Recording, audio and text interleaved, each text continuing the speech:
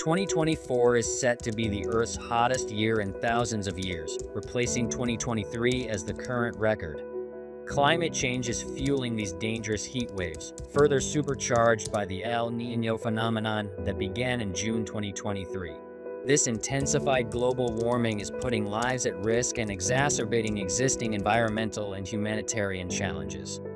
Asia's extreme and record-breaking heat in April and into May 2024 led to severe impacts across the Asian continent, impacting cities and remote communities in Bangladesh, India, Thailand, and Vietnam. Extreme heat can have harmful effects on human health, particularly affecting vulnerable groups, including the elderly, young people, and outdoor workers.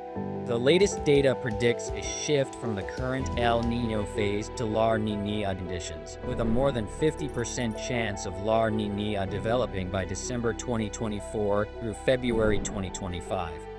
This shift will likely result in wetter and cooler conditions compared to El Niño's heat waves. Scientists explain that these new conditions are likely temporary and will not counteract the overall trend of extreme and intensifying planetary scale heating. The past 10 years have been the warmest on record, ocean heat is rising, and extreme weather and climate events have led to massive economic and human losses.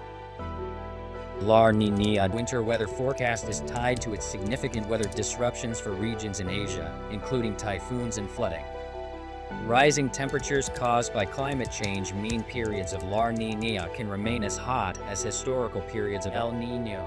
This additional heat in air and water is supercharging certain weather disasters such as Super Typhoon Yagi, Asia's most powerful storm of 2024.